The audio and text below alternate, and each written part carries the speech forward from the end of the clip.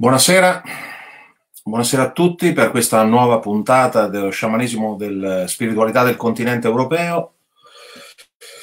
Eccoci di nuovo per un'altra puntata. Eh, adesso attendo che qualcuno magari mi dia un feedback e mi dica se tutto va bene.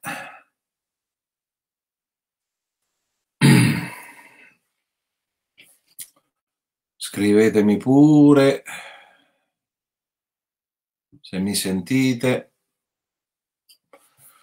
Ma ancora nessuno scrive.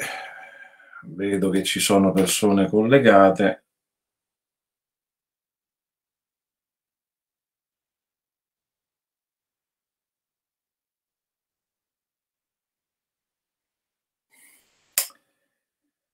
Allora.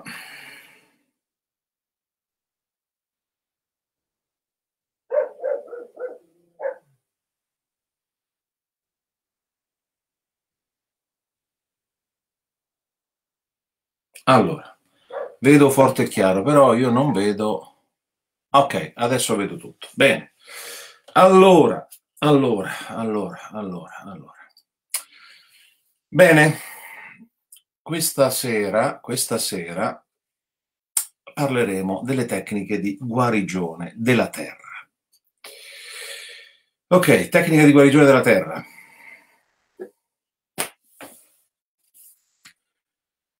Che di riflesso diventano anche tecniche di guarigione per noi.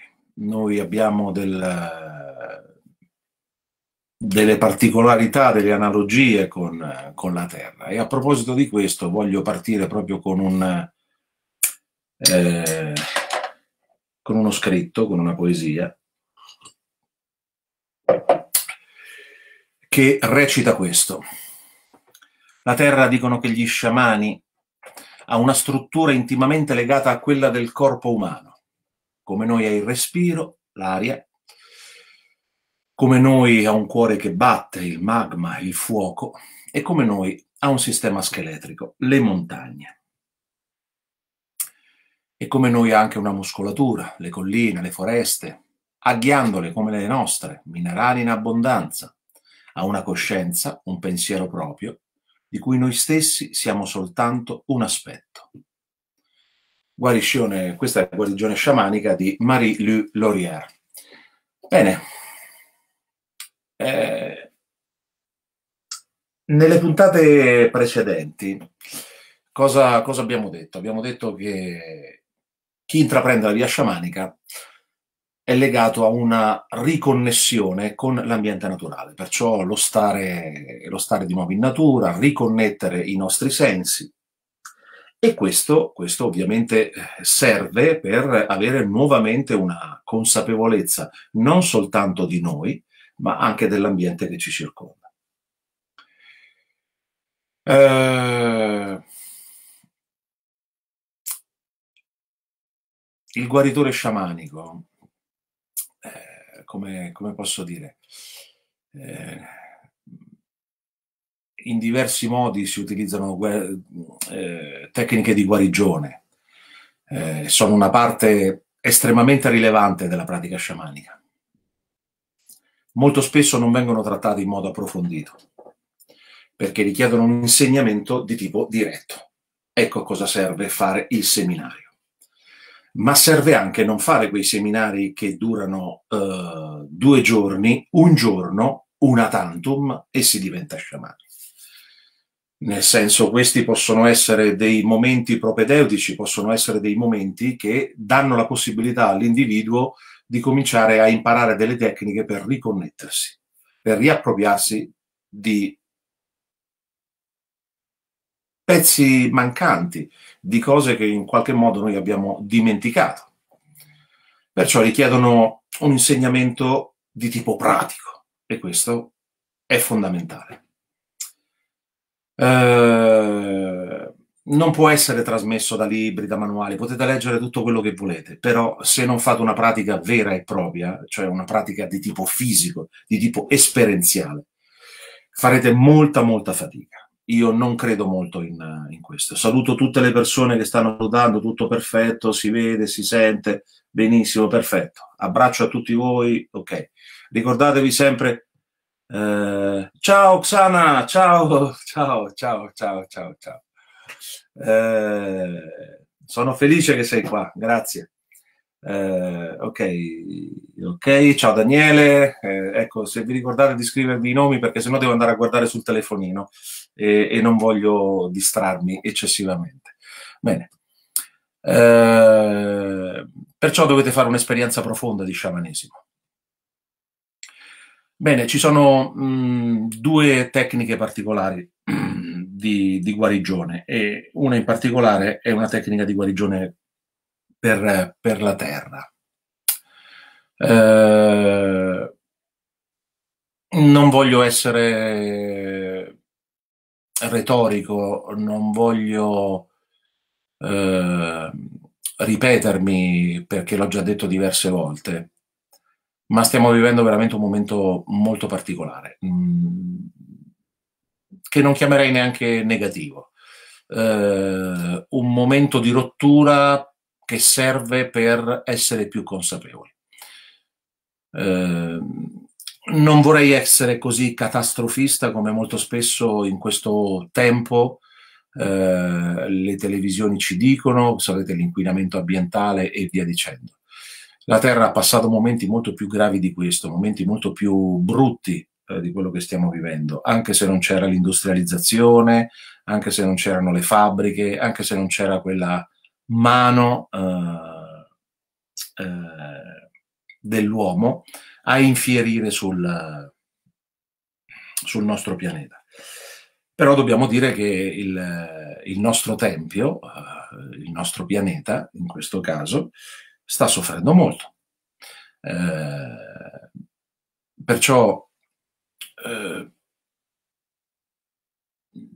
cosa possiamo fare noi? Eh, molto spesso le tecniche di guarigione sciamanica sono delle guarigioni che potremmo chiamare anche di riflesso. Se io decido oggi di prendermi cura di, una, di un acro, di un ettaro di bosco, eh, e comincio a non soltanto a pulirlo, da tutte quelle cose che l'uomo ha lasciato. Io ancora oggi, mentre vado a fare le mie passeggiate o vado in luoghi che non ho ancora visitato, trovo cartacce, trovo bottiglie o plastiche o elastici. Mi è capitato diverse volte di trovare cose piccolissime. Dici, sei una cosa piccola, che fai? Lasci lì, lasci lì. No, io mi porto sempre il mio sacchetto dietro, lo riempo di queste cose e poi le getto ovviamente nel, nel secchio del pattume. Perciò la tecnica di guarigione della terra non ha bisogno di cose enormi. Cominciamo sul piccolo perciò eh, non abbiamo bisogno di eh, grandi spazi e diciamo ho piantato milioni di alberi. Eh, non, non, siamo abituati, non abbiamo volontà per fare grosse cose. Allora cominciamo dalle piccole. Eh, cominciamo in questo caso a, come dire, a diventare custodi, eh, a diventare guardiani di un piccolo appezzamento di terra che può essere anche il nostro orticello, però curarlo in maniera costante. Eh, vi ho detto diverse volte che io ho avuto, ho fatto una scelta di vita, ormai da 30 anni vivo in un bosco, perciò per me è, è quotidiano andare in giro e vedere se ci sono delle cose che non, eh, che non vanno e sistemarle. E eh, molto spesso eh, succede che cadono gli alberi, eh, cadono nei ruscelli e questo impediscono il fluire delle acque e magari poi quando piove tanto eh, il piccolo torrente, il piccolo ruscello esonda e allora a quel punto porta via tutte le piante sull'argine del fiume, indebolisce l'argine. Perciò molto spesso, visto che io vivo dove c'è un corso d'acqua, molto spesso, almeno 4-5 volte all'anno, vado a vedere eh, se ci sono rami che sono caduti dagli alberi, li tolgo, li metto sull'argine. Eh, ovviamente se questa è legna da ardere, la taglio e eh, la utilizzo come legna da ardere. Eh, non c'è neanche bisogno di tagliare gli alberi, perché molto spesso gli alberi cadono da soli, o perché sono malati, o perché sono vecchi, o perché le intemperie li hanno abbattuti. E allora a questo punto non c'è bisogno di tagliarli e si prende quello che il bosco ha donato. E in questo senso bisogna anche far sì che quando andiamo in un, in un ambiente naturale eh, cercare di ripulirlo da quelle cose che molto spesso l'uomo fa. Eh, e queste sono delle piccole cose che noi facciamo come, come guarigione della terra. Eh, posso assicurarvi che queste, che queste, piccole cose che voi fate mh, o chi decide di farle diventano una sorta di autoguarigione è come se voi voleste in qualche modo pulire anche il vostro corpo. Ecco perché vi, vi, vi stavo parlando di quella so, sorta di eh, eh, guarigione a specchio, no? Cioè, guarite la terra, guarite anche voi. Eh, questa per me ormai è diventata una consuetudine, ma neanche una consuetudine, cioè è, è, è qualcosa che ormai eh, hai incarnato, non hai neanche bisogno, sai, di, come dire, eh, di sforzarti di fare una cosa, ormai fa parte del tuo patrimonio. E allora cosa fai? Vai nel bosco, trovi la bottiglietta che hanno lasciato le persone, te la prendi, la porti via e questo dà la possibilità di aiutare la guarigione della Terra. Sapete che in questo periodo ci sono decine di vulcani che sono, hanno ricominciato le loro attività, eh, perciò quella che noi chiamiamo spazzatura, se decidessero magari di far sì che ci sia un cataclisma epocale sulla Terra, eh, la, la, il magma eh, e tutto quello che fuoriuscirebbe da, eh, dall'attività vulcanica eh, come si dice, viene, in questo momento non mi viene la parola, eh, sterilizzerebbe qualunque cosa, nel senso che brucierebbe anche la spazzatura, la disintegrerebbe e di questo non ci sarebbe più assolutamente traccia, no? Assolutissimamente traccia. Perciò è essenziale che noi facciamo qualcosa per intervenire in questo processo, eh, perciò facciamo qualcosa del nostro eh, che non è soltanto un nostro interesse, ma è anche un interesse collettivo. Eh, purtroppo in Italia siamo abituati molto a guardare il nostro orticello, ma questo mm, succede anche nelle altre parti del mondo, ma in Italia questa cosa è particolarmente spiccata. Eh, perciò mm, questo diventa anche un sistema, lo vedo con i miei figli, no? i miei figli sin da, da, da, da piccolissimi eh, la più grande in particolare quando era ancora piccolina, vedeva le persone o la spazzatura sul ciglio della strada e mi ripeteva questa cosa, mi diceva papà la gente è, è sporcacciona, guarda, guarda, guarda. Ma io non ho dovuto fare fatica, non ho dovuto dirgli eh, non dovete gettare quello, non dovete fare quell'altro. Eh, loro mi hanno imitato perché quando si andava nel bosco, quando andiamo in giro, anche una piccola carta io me la metto in tasca e non la butto per terra. Poi quando vedo un cestino, perché poi non so se avete notato, ma molto spesso nelle città c'è una carenza di, c'è una carestia di, eh, di, di cestini per il pattume. Perciò è anche difficile buttarla la spazzatura. Però io ormai mi sono abituato a questo, me la metto in tasca e quando capita di, di essere, a volte molto spesso me la riporto a casa eh, e poi la getto, ovviamente. Eh, perciò questo dovrebbe essere, un, vi ripeto, neanche un'abitudine, dovrebbe essere proprio un modus vivendi. Buonasera ancora a chi si è collegato adesso. Ciao Silvana, ciao Odette. Eh, un buon esempio, la cosa migliore con i figli, assolutamente Anna, assolutamente. Eh, perciò per me ripeto, non è stato, non è stato assolutamente faticoso.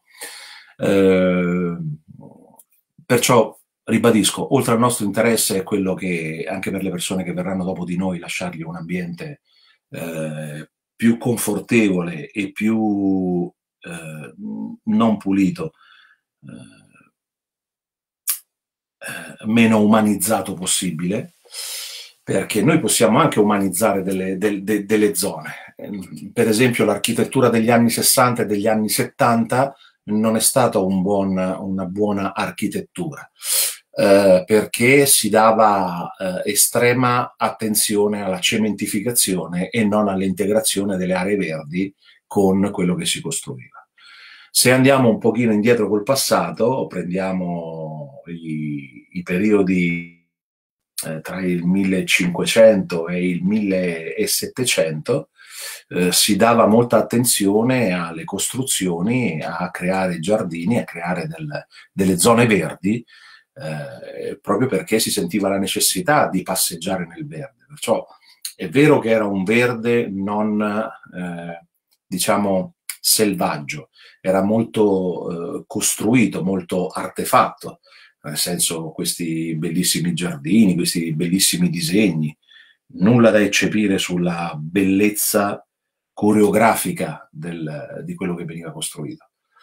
Però io, per esempio, evito di, di disboscare. È vero che crescono tanti rovi, però i rovi tutti gli anni mi danno le more. Perciò io non... Eh, ho delle aree dove praticamente tolgo spesso i rovi e delle aree dove li lascio. E ovviamente con il tempo si espandono. Dove li ho tagliati, per esempio lo scorso anno, nelle aree dove ho tagliato, quest'anno si sono riempite di primule, cioè proprio è diventato un tappeto giallo. Eh, e di conseguenza eh, ormai le primule hanno preso il sopravvento. Eh, perciò fra due o tre mesi, quando non ci saranno più, si ranzano di nuovo i rovi e così ancora per altre due o tre volte prima di, eh, di settembre, di modo che ormai possono avere il loro, il loro spazio. No? per esempio avevo un, eh, una parte del, eh, del, bosco dove c'erano del, degli abeti che, era che, erano stati piantumati dal, dai precedenti proprietari di dove vivo perché commerciavano il legname e praticamente si erano ammalati e ovviamente li ho fatti, li ho fatti, li ho fatti tagliare. Dove aveva praticamente dove c'era questo non tutti ovviamente, eh, soltanto quelli malati. Sapete che dove c'è l'abete, dove ci sono praticamente le conifere, quando cadono gli achi acidificano il terreno. Ecco, subito dopo il taglio, è passato, non sono passati almeno 4 o 5 mesi, hanno cominciato a crescere delle piante che io non avevo mai visto. Eh, anche a livello botanico non, non, riuscivo. Per fortuna un amico, un, amico, un mio conoscente, un dottore mio conoscente, scusatemi, per l'inesattezza, eh, gli ho parlato di queste piante e mi ha detto, ah sì, questa è una pianta asiatica molto infestante ma molto nutritiva per gli animali. Infatti, da quando eh, è nata questo tipo di, di, pianta, si sono fatti molto più eh, evidenti il, il, il, pascolo di cerbiatti e caprioli in quell'area. Perciò hanno capito perfettamente che questa cosa eh, era buona per loro, perciò, eh, vedete, da una parte è, è stato un, diciamo, un male, ma gli alberi erano malati, perciò sono stati tagliati. Successivamente sono nate queste piante che io non ho tagliato, eh, tra l'altro arbusti abbastanza alti, circa 1,90 m, eh, foglie di queste dimensioni, eh, sono cresciute da sole e sono diventate una sorta di pascolo per, per gli animali selvatici. Perciò eh, molto spesso io, nella maggior parte dei casi, lascio proprio le aree eh, del, del, bosco e vengono su le piante che, autoctone, diciamo, selvatiche. Ci sono porri selvatici, ci sono un, tantissime, tantissime eh, specie eh, vegetali, anche commestibili, che possiamo mangiare anche noi. Eh, per esempio quest'anno, eh, a differenza degli altri anni, la cicoria ne è cresciuta tantissima.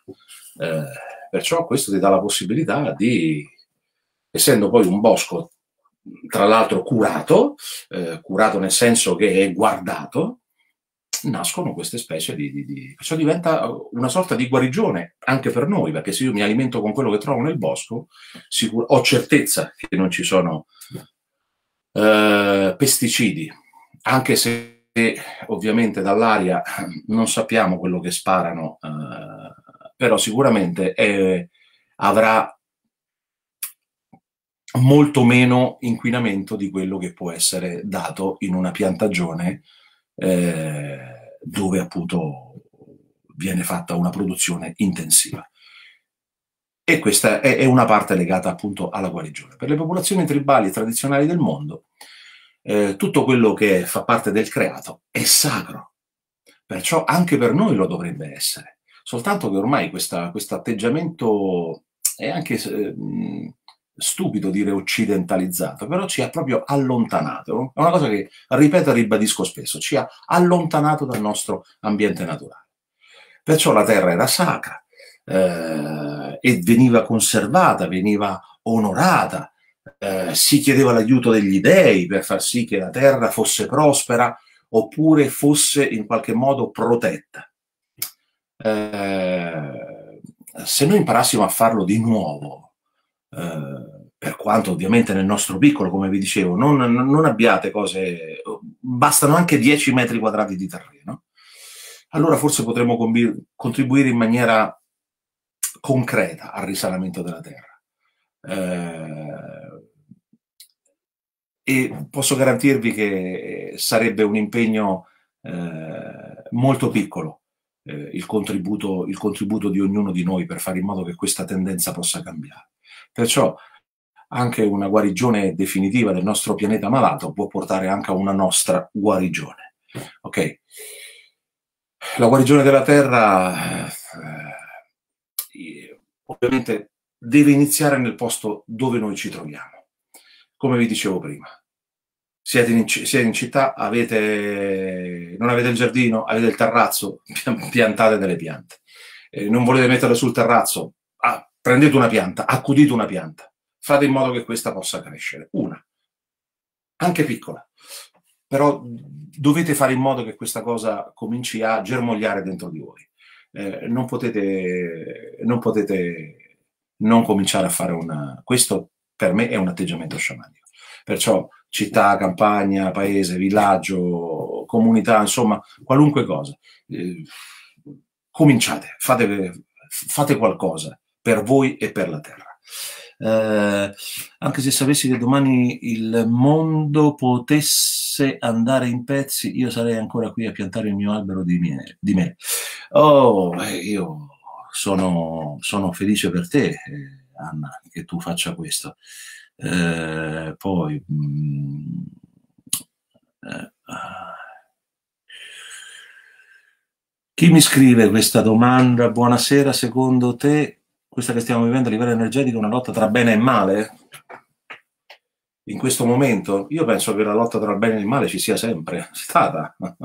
Forse in questo momento si è fatta più evidente per un semplice fatto. C'è stata una separazione, c'è stata una separazione di due eh, barra tre mm, tipologie di individui. Uh, vorrei entrare nel dettaglio legato a questo momento, ma non ho assolutamente voglia, vi ripeto perché non eh, diventerei polemico e non voglio diventare polemico. Eh, nel senso che ho le mie idee, forse alcuni di voi hanno capito che idee, che idee io ho nella testa e di conseguenza non, eh, questo non è un dibattito politico in questo momento si sta, si sta evidenziando molto questo, questo, divario tra persone eh, e, e, la lotta, ovviamente, visto che c'è il divario, la lotta in questo caso diventa più accesa tra quello che viene considerato il bene e il male. Poi, ribadisco, c'è sempre una nostra visione, no? Eh, individuale che cosa è bene e che cosa è male. La maggior parte delle cose che eh, per il mio modo di vedere è male, però per alcuni magari è bene. Allora, mh, mm, voglio farvi, voglio farvi un, uh, un, appunto su questo. Uh, e noi alla fine dell'Ottocento eravamo circa 2 miliardi di persone sul pianeta. Ok? No, forse, forse meno, forse un miliardo e due, un miliardo e tre all'incirca, fine dell'Ottocento. E c'è stata questa crescita esponenziale in circa 200, 200, 220 anni, insomma, no? Perché i governi oggi vogliono far sì che la popolazione mondiale si abbassi, vogliono letteralmente uccidere la popolazione mondiale. eh, con vari sistemi. Non sto a parlare dei vaccini, sto a parlare, sto a parlare dell'inquinamento dei cibi, sto parlando dell'inquinamento atmosferico e via dicendo. Sempre, sempre di più ci sono malattie respiratorie, sempre di più ci sono malattie di tipo genetico, non sappiamo perfettamente quello dei cibi, eh, la fiducia ormai è terminata da, da, parte mia ormai da un trentennio. Perciò in questi, in questi anni ho cercato di valutare e di eh, tutelare eh, la, la, la, mia esistenza e delle persone che mi sono vicine.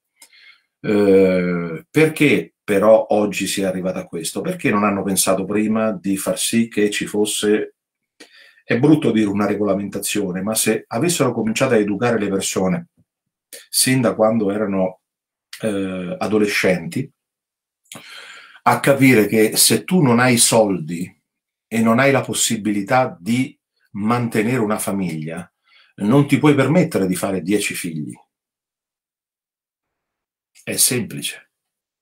Perciò c'è stato proprio un problema a monte e credo che questo è stato anche un problema di tipo volontario tante più persone, tanti più consumi.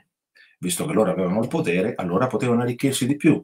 Adesso che si sono arricchiti abbastanza, vogliono una popolazione di tipo, eh, una tipologia di uomo schiavizzato. Allora adesso cosa faranno? Eh, faranno sì che eh, le persone siano in qualche modo obbligate a fare dei certi passi e non eh, potersi permettere più di essere completamente liberi. Allora c'è qual è la possibilità? Staccarsi da questo sistema, anche se non hai i soldi, non sono i soldi che fanno questo, è la mentalità, è l'atteggiamento delle persone, di staccarsi da questo sistema, di sganciarsi, perché c'è la possibilità di sganciarsi, ve lo posso garantire, io l'ho fatto, perciò. io sono la, la come si dice, la, l'espressione vivente di questo. E non sto parlando solo del fatto che mi sia allontanato dalla città eh, ho riconquistato la mia libertà di tipo giuridico. Eh, perciò eh, magari poi ne parleremo in, eh, in, un'altra trasmissione, ma non è questo, non è questo il contesto. Perciò ho, ho, lavorato per far sì di, distaccarmi da questa, da questa situazione. E questo, e questo, è quello che possono fare, che possono fare tutti. Eh, perciò la possibilità c'è, è lì di fronte a voi, dovete soltanto coglierla, muovere, come si dice, il sedere, eh, attivarvi e, e, far sì che le, cose, che le cose accadano, anche se vivete in città, ve lo posso garantire. Poi, eh, esiste il maschio? Mm, cosa si intende esiste il maschio? La, se, stai, se stai cercando quella mascolinità di un tempo eh, se stai cercando quella mascolo, scusate, se stai cercando quella mascolinità di un tempo, ovviamente questa non esiste più. Ormai l'uomo è stato devirilizzato, perciò non è più il maschio che, che noi conoscevamo un tempo, è qualcosa che ormai non, non esiste più. Eh, faccio un'analisi di tipo sociologico. Eh, io guardo la televisione non guardo i telegiornali, nel senso che ormai per me i sette canali che vanno dalla, dalla RAI a eh, la 7, io non li vedo più già da tempo, eh, da diverso tempo. Eh, mi dedico soltanto al, a, ai film e alla lettura dei libri. Però ho voluto volontariamente abbonarmi a queste piattaforme che la maggior parte di voi conoscono, tipo Netflix, tipo Amazon Prime, eh, e per capire, eh, per capire a livello sociologico cosa stanno trasmettendo. Bene, eh, qualche, qualche, settimana fa uh, sono venuto a sapere che ormai ad Hollywood uh, per girare un film o per entrare nella schiera delle, di quelle possibilità di essere finanziati per le serie televisive e film, devi assolutamente inserire dei parametri che sono uh, di tipo etnico, cioè in tutti quanti i film ci deve essere l'uomo di colore, l'asiatico, eh, il, il, bianco, eh, l'indiano e, e, via dicendo. Tutti i film ormai sono così, qualunque. eh, ci deve essere la storia omosessuale all'interno, ci deve essere un contesto omosessuale, eh, sia femminile che maschile, eh, se no non accedi ai finanziamenti. Il problema non è questo. Il problema è che se voi guardate tutte le serie televisive adesso, c'è un appiattimento eh, di tipo proprio sociologico eh, che non ti dà proprio nessun tipo di margine, eh, nel senso che ormai vedi quella cosa stampata che si ripete tu- in tutti i copioni. Le trame sono diventate ormai di una banalità allucinante. Io che sono stato un uh, e sono tuttora un amante della fantascienza, eh, mi rendo conto che anche in quel contesto si sta facendo breccia questa tipologia di, di intrattenimento, eh, che assolutamente per me è mh, mm, condivisibile sotto il profilo eh, concettuale, nel senso che ok, ci deve essere una parità di genere per tutti. Ma così diventa stereotipata eh, e diventa ripetitiva, cioè non c'è più un film che parla di qualcosa di diverso, tutto è duplicato allo stesso contesto. Poi non so se avete visto, a breve usciranno diversi film con eh, grandi eroi tipo Achille, eh, a breve uscirà eh, un, un, film eh, eh, su questo argomento, ma con l'Achille di colore. Eh, adesso stiamo passando praticamente eh, all'opposto, cioè questo proprio, eh, come si dice, eh, annientamento della storia vera per riscrivere la storia, non si sa pro di che. nel senso che Scipione l'Africano probabilmente era più scuro che chiaro, perciò è stato un eroe di quel periodo lì. se ci sono stati degli eroi in passato che erano bianchi e non erano di colore, oggi non mi devi imporre il fatto che Achille era, oggi me lo devi far vedere di colore, o la regina Elisabetta di colore, perché ho visto poco tempo fa eh, una serie su Netflix eh, che si svolgeva ai tempi di Re Luigi eh, in Francia, dove la regina era mulatta, perciò personalmente eh, cioè, va a togliersi tutta una serie di, di realtà storiche, cancellate realtà storiche ormai acclarate che personalmente non... E questa è un'imposizione. Io non posso, non posso che vederla eh, in, questo, in questo modo. Ehm, perciò per quanto riguarda il maschio, il maschio, mm, per, ah, quel tipo di maschio non è così. E mi riferivo appunto a questi film che ormai hanno dato il ruolo alla donna di tipo misandrico. Uh, perciò un annientamento totale e odio verso l'uomo, eh, dove l'uomo praticamente ha preso le parti della donna, perciò è quello che piange, è quello, il tenerone, eh, quello che si comporta in maniera isterica, come, face, come si faceva vedere una volta nei film la donna quando veniva tradita e via dicendo. Perciò è stata proprio un'inversione, una contrapposizione dei ruoli, che io personalmente non, non condivido, non condivido assolutamente. Eh, poi, io in un boschetto ho riscoperto la raccolta eh, di un vero tesoro, i, i, bruscandoli, il luppolo selvatico, sì. Eh, la madre ci fa sempre regali se viviamo in armonia, assolutamente, assolutamente.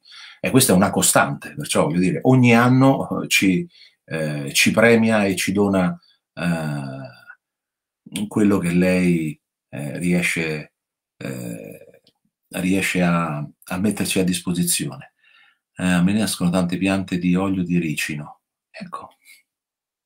Eh, allora potresti fare una cosa, una, una, piccola produzione di olio di ricino, anche se ne fai quattro bottiglie all'anno, o tre bottiglie, o due bottiglie, o una bottiglia. Comincia perché tanto poi si duplica e questo potrebbe essere poi con il tempo magari potresti produrre olio di ricino che fa tanto tanto bene una pianta, mm, ho piantato una quercia che tra un po' la porterò in un posto più adatto. Bravo Daniele. Ho piantato in quattro vasi di fiori sul mio terrazzino, è una gioia solo guardarli. Bene, bene, bene. Io seguo di più il TG. De... bene, bene, bene. Eh... Alludi al politicamente corretto? Certo, sì, sì, sì, sì, che poi non diventa politicamente corretto, ma diventa l'altra faccia della medaglia, no? Diventa eh, l'imposizione del non politicamente corretto, ma di un, di un pensiero diverso dal tuo. Eh, in quello che stai dicendo tu è il pensiero che sto praticando pure io da qualche anno e la penso come, come te. A riguardo delle cose che stanno succedendo da qualche anno a questa parte, stanno eliminando più gente possibile. Mi si è spostata la cosa, cazzarola. Eh, scusate, eliminando più gente possibile, soprattutto anziani e persone con handicap, malati, eccetera. Triste, ma è così. E certo stanno togliendo la... Eh, guarda, guardate caso, eh, e non sto parlando di razzismo, per, per, però queste porte aperte verso l'Italia da parte dell'immigrazione clandestina, voi lo sapete che proprio per morfologia territoriale l'Italia è un porto, è un accesso al continente europeo. Perciò proprio per morfologia del territorio l'Italia si è trovata in questa condizione. Hanno fatto di tutto per far sì che questa fosse la porta di accesso per, per l'Europa e vogliono fare in modo di... perché questa cosa... Eh, non ve lo dico io, giro su, su, anche su Facebook. Cioè, in, questi, in, queste settimane le proteste nei vari paesi europei, dalla Danimarca all'Olanda, alla Spagna, all'Inghilterra, ehm, alla Francia, le proteste sono ormai quotidiane. Eh, vedete che la Merkel qualche settimana fa cosa ha detto? Ha detto che c'era il lockdown di 5 giorni sotto Pasqua, sono scesi in piazza 1.200.000 persone, 1.200.000 persone, scusate mi sono sbagliato. Cioè, lo capite? Mm, è una cosa che ripeto, ma, ma la dico per ricordare. Il rapporto forze dell'ordine popolazione è di 350 agenti per 100.000 persone. Perciò su un milione di persone eh, avremo 3.500 agenti. Secondo voi un milione di persone se li mangiano 3.500 agenti, no? È un calcolo proprio della serva. Di che stiamo parlando? Le regole, come va in piazza, cambiano per forza di cose. Io lo devo dire, nonostante sia italiano, l'Italia è un paese di vigliacchi, lo sapete, la storia ce lo insegna, perciò voglio dire, anche nel dopoguerra, pur di non passare da perdenti, siamo andati col vincitore, cioè con, con gli americani. Eh, questo è l'atteggiamento che ha l'italiano. L'italiano mi, mi dispiace, sarà una grande mente, eh, parlo, parlo per me, nel senso, ma la tendenza è questa proprio vigliaccheria latente che c'è dentro, dentro, nostra, dentro il nostro popolo. Non, mi spiace, io io la, penso così, perciò non, non, non, se qualcuno non è concorde, io parlo di fatti storici, eh, non, sto parlando di... Eh, esiste un numero di popolazione che non è vigliacca, lo vedete a Napoli, no? A Napoli si sono, anche nel dopoguerra, vi ricordate, le cinque giornate di Milano, prendo, cioè le cinque giornate di Napoli, eh, scusate, eh, senza forze dell'ordine, senza, senza, aiuti militari, i napoletani hanno cacciato i tedeschi dalla città. Cioè, mh, capite, tutto si può fare, è una questione di volontà. Uh, allora, mm, ok, l'appiattimento totale della realtà storica e sociale, esatto, esatto un po' come censurare film come Via col vento, bravissima, eh, o bravissimo, perché sera, se non fosse guardare il film, capisce il film si oppone alle guerre dello schiavismo. Eh, sì, eh, poi, eh, ripetuto tre volte questa cosa, di questi tempi l'uomo diventa forte solo se è in mezzo al branco, non esiste più il maschio, semmai il succube del branco. Assolutamente sì. Condivido appieno quello che, quello che, mi, state, quello che mi state dicendo. Eh, ma quest, mh, mm, ribadisco, nel nostro, nel nostro, piccolo, nel nostro piccolo possiamo fare tanto. Uh, basta cominciare a fare questi, questi, con, questi piccoli, con questi piccoli gesti. Eh,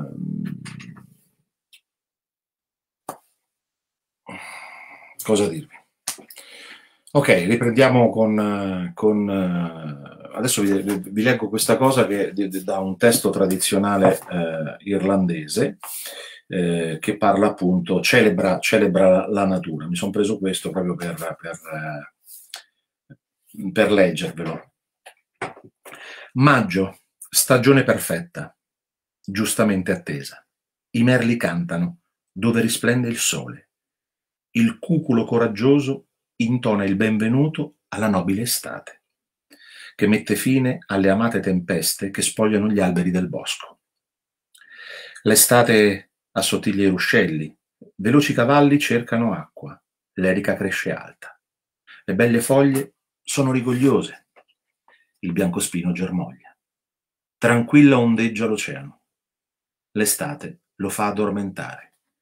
I boccioli cingono il mondo. Piccole api impollinano i fiori, trasportando miele in abbondanza sulle loro zampe. Gli armenti vagano sui pendii delle montagne, si ode la musica del legno, una melodia di perfetta pace. La polvere viene soffiata fuori dalle case e la bruma dalla riva del lago. Gli uccelli atterrano intorno, eh, scusate, gli uccelli atterrano in stormi sulla terra, dove una donna cammina cantando. In ogni campo c'è il suono del, gio- del gioioso increspare dell'acqua. Cavalieri pieni di fiero ardore raccolgono compagni ovunque. In riva agli stagni le iris sono colorate dall'oro del sole. L'uomo vero canta. Felicemente nel giorno luminoso canta la voce alta di maggio. Stagione così tanto attesa celebrare appunto la, la natura, celebrare l'arrivo della primavera. Qui ovviamente siamo proprio nel momento più esplosivo, maggio. Adesso abbiamo lasciato l'equinozio di primavera da, da pochissimi giorni, da appena dieci giorni. Vedete che già le temperature si sono alzate, adesso magari nelle prime settimane magari ritornerà un po' il freddo, però insomma da, dopo la prima settimana di aprile andremo in escalation pian piano con, con le giornate che diventeranno sempre più calde fino ad arrivare ai primi di maggio, un periodo particolarissimo. L'equinozio di primavera lo sentite proprio vi, vi come dire, eh, vi irradia della sua, della sua carica, no? eh, lo sentite anche voi, siete un po' come i fiori che germogliano, come, eh, cioè come i fiori che sbocciano. Eh, piano piano vi, vi state risvegliando anche voi, da questo, da questo torpore. E questa questa è, una cosa magnifica. Poi arriveremo nel momento eh, mio, che, a cui io sono molto, molto legato, che è il periodo di Beltane, per i primi di maggio, dove si celebra il principio maschile e il principio femminile. Perciò queste due energie che si fondono e ovviamente celebrano in questo caso la natura, celebrano il, il nostro ambiente dove noi siamo nati, cresciuti, e dove per certi aspetti, anche se ci sono le città, noi siamo poi eh, i veri eh,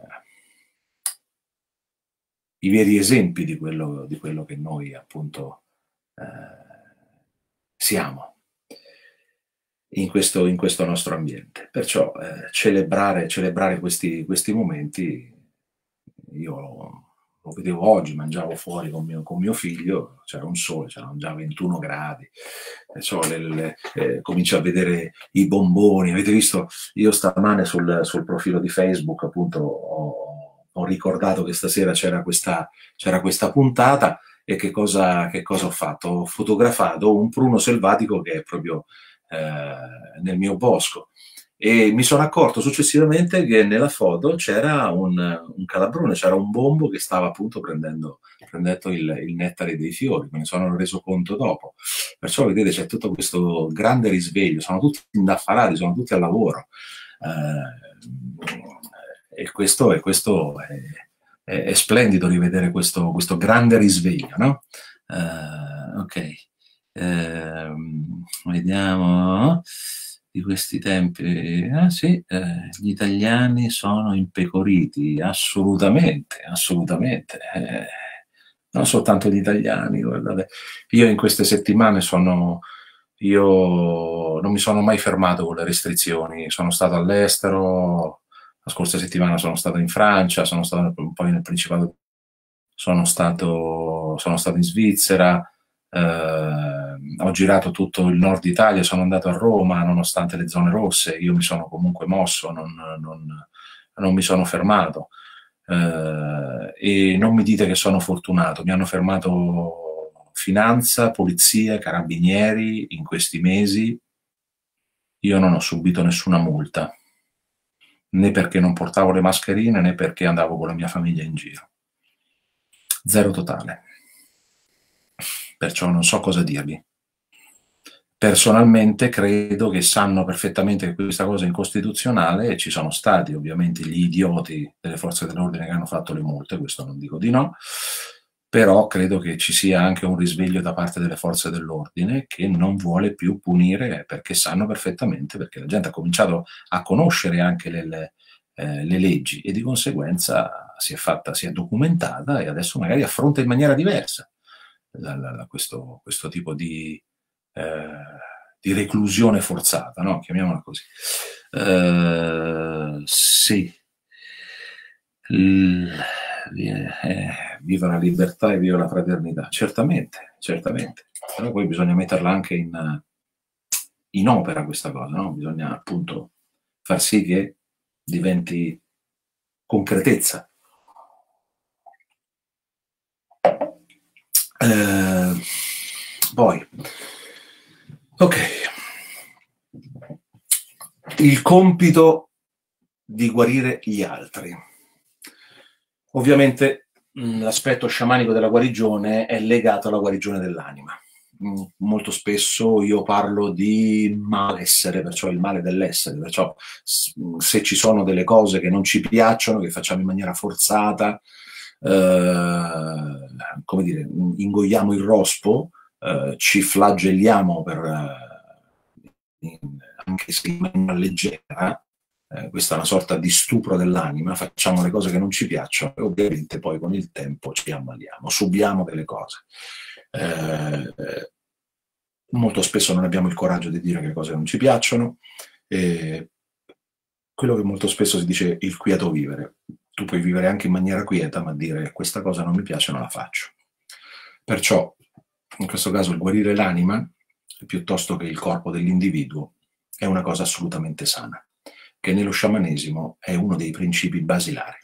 Perciò il corpo dell'individuo, anche se in alcuni casi la natura della malattia in questo caso richiede mh, di lavorare ovviamente su entrambi gli aspetti, no? l'aspetto emotivo della persona, ma anche l'aspetto di tipo eh, patologico no? della malattia. Perciò nella maggior parte dei casi le guarigioni in questo caso molto spesso nel, nello sciamanesimo avvengono in una sorta di quasi di, di, di, di trance. Ci sono diverse, diverse, tipologie di tecniche, eh, molto spesso si ripetono eh, come una sorta di mantra eh, delle, delle, frasi, delle parole eh, e ci sono proprio dei gesti di tipo, di tipo fisico che vengono fatti eh, e diventa una sorta di lavoro in, in quasi una, una, sorta di trance. No? Eh, durante questo tempo ovviamente lo sciamano viaggia nel mondo interiore eh, eh, nel quale può lavorare e poi direttamente sulla malattia del, della persona che è davanti a lui. In questo caso la malattia viene percepita eh, totalmente diversa da quella che è la malattia eh, nella parte del corpo. Perciò viene vista magari come un, eh, una situazione che si ripete nella vita dell'individuo o una sorta di demone, ma non, in, non immaginate quel tipo di demone, può essere anche un animale totemico che decide praticamente di intervenire eh, sull'anima dell'individuo per, per, la malattia. Ma questa è una sorta di, la malattia a mio parere arriva per far sì che una persona si risvegli o che capisca che certe cose non vanno e che deve assolutamente cambiare.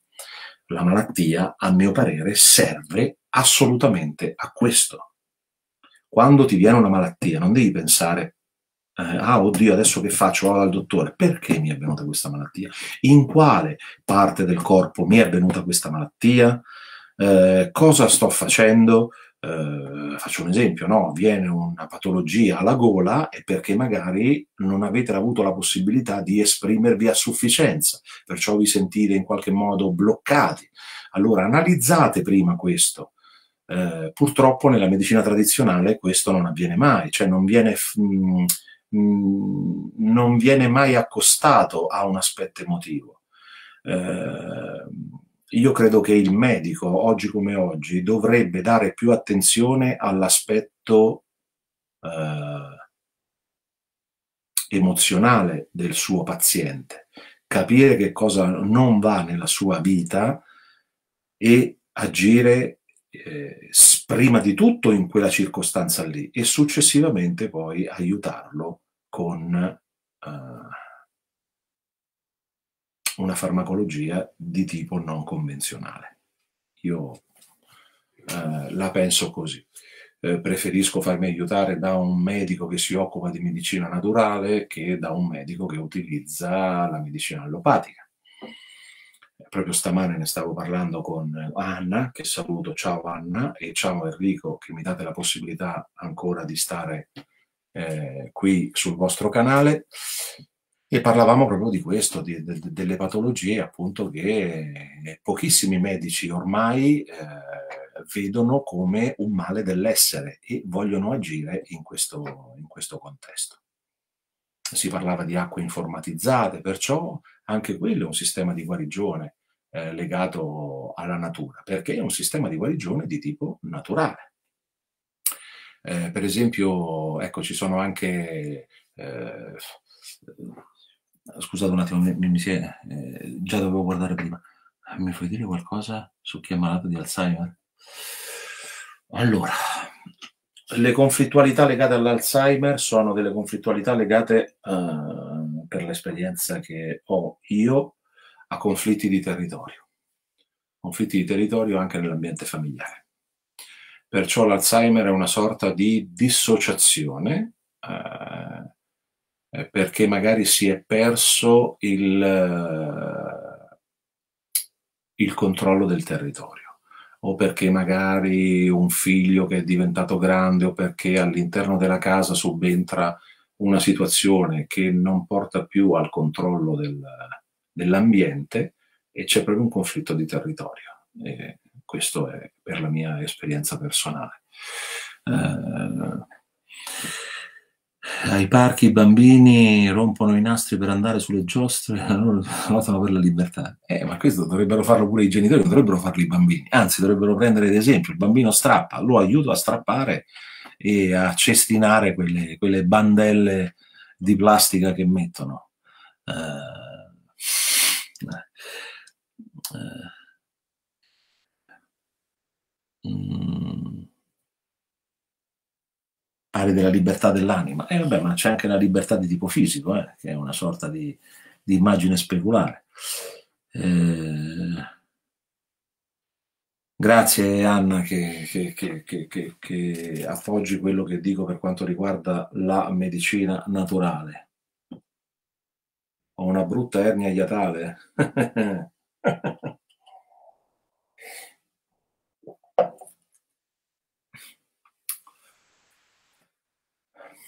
Rabbia repressa, assolutamente.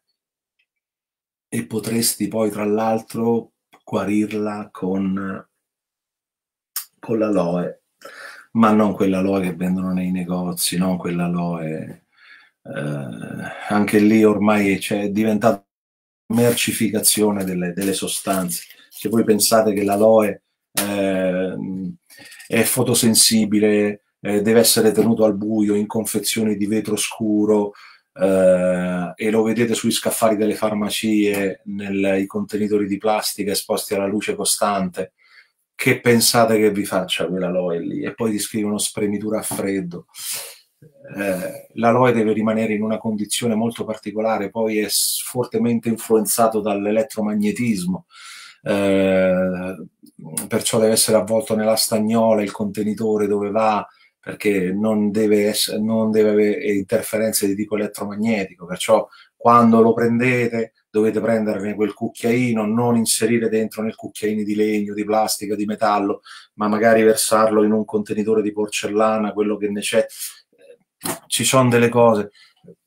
Che cosa vi devo dire? Bisogna studiare, bisogna documentarsi, anche per il sentito dire. Ho sentito dire, benissimo, adesso mi vado a documentare se quel sentito dire è giusto o è sbagliato.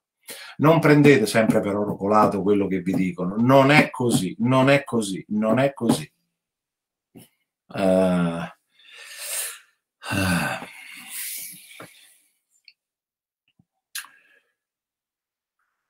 Uh, e no, perché l'ernia iatale non è un'espulsione, l'ernia iatale praticamente si crea un rigonfiamento eh, alla base esofagea, all'attaccamento con lo stomaco, perciò si crea una sacca, perciò un'estroflessione. Eh, e, e, di conseguenza praticamente il cibo si ferma, eh, molto spesso si ferma lì e ti rimane questa, questa cosa. Perciò non essendo succhi gastrici, le cose, bruciori, fastidio, dolore, a volte quando ti si ferma qui hai anche fatica a respirare dopo che hai ingerito il cibo, ma quello avviene prevalentemente per la rabbia repressa. Perciò quella è una, un rigonfiamento, una estroflessione di quello che si reprime e non si butta fuori. Ok? Allora di alta qualità per chi può essere interessato. Uh, chi sei che hai un aloe di alta qualità?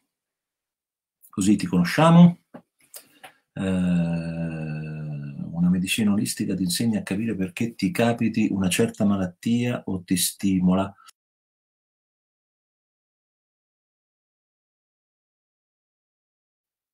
E sette numero viscere strozzato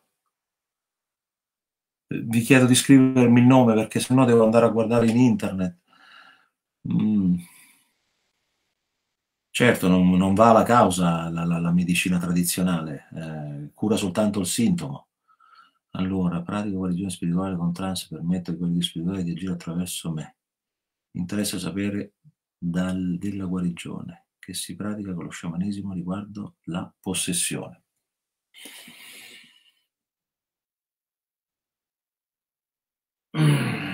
Allora.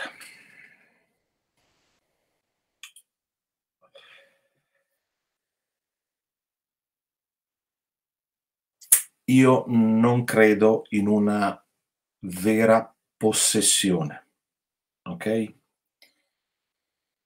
Credo che ci siano delle connotazioni legate a entità che non prendono completamente il controllo del corpo dell'individuo, tra virgolette possessione, ma influenzano in maniera non positiva l'andamento emotivo, biochimico dell'individuo. Le tecniche che possono riuscire a guarire questa, questo tipo di, di condizione sono le a mio parere, le tecniche di trance a livello sciamanico, perché si deve entrare in contatto, in condivisione dell'entità. Uh, se pensate a quelle, quelle, persone tipo esorcismo, lì c'è una buona fetta anche di alterazione uh, psichica. O psichiatrica dell'individuo. Eh, legata sempre a un'influenza di una entità esterna, ma non quel tipo di vera possessione. Eh, come si intende del film, che tu incorpori o la larva o lo spirito del demone. E... No, no, io in quella cosa assolutamente non, non credo. Credo in un'influenza perché le entità sono intorno a noi, ma non hanno la capacità di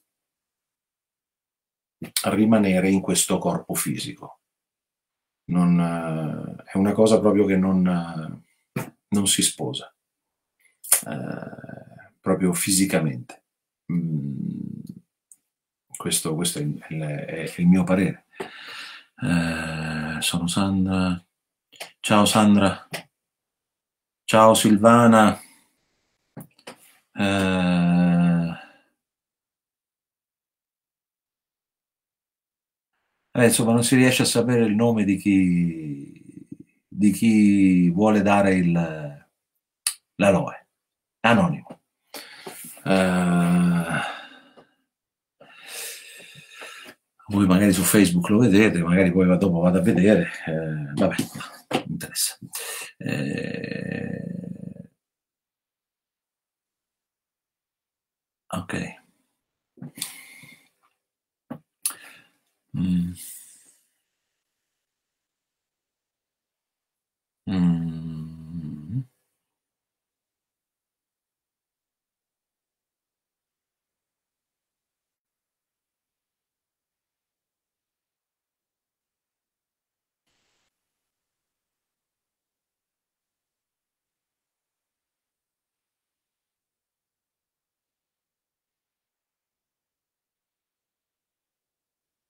Concordo con te, concordo con te.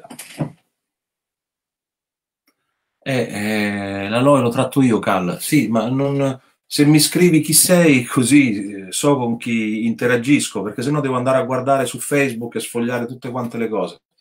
Eh, ve l'ho chiesto all'inizio trasmissione. Quando scrivete il messaggio mettete il vostro nome alla fine, così so con chi parlo.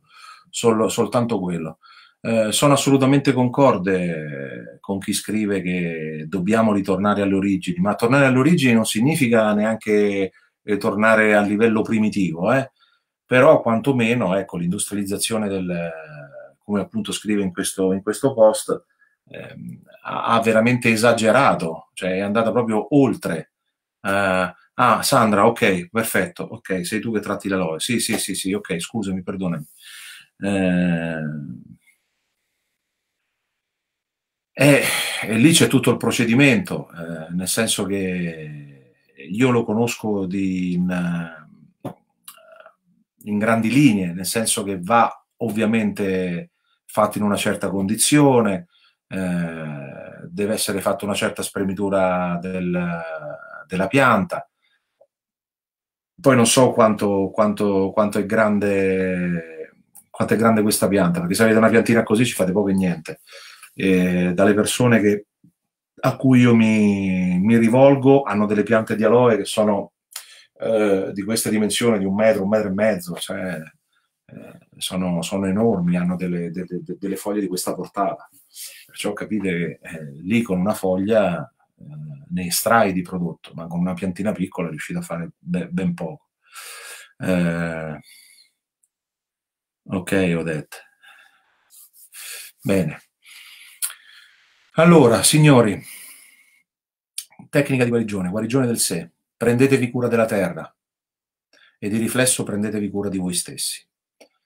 Vedrete che funziona. Eh, parlate con la terra, parlate con il vostro corpo, parlate con la vostra anima. È lì che vi ascolta. Fidatevi. È semplice, non bisogna fare cose complicate, cose complesse. Non è assolutamente così. Fatevene una ragione. D'accordo? Allora, uh, ok, ok, ok, ok, state parlando fra di voi. Bene, signori, sono le 22.36. Io vi ringrazio per essere stati con me uh, e con le persone che ci hanno accompagnato in questa, in questa diretta oggi 30 marzo 2021.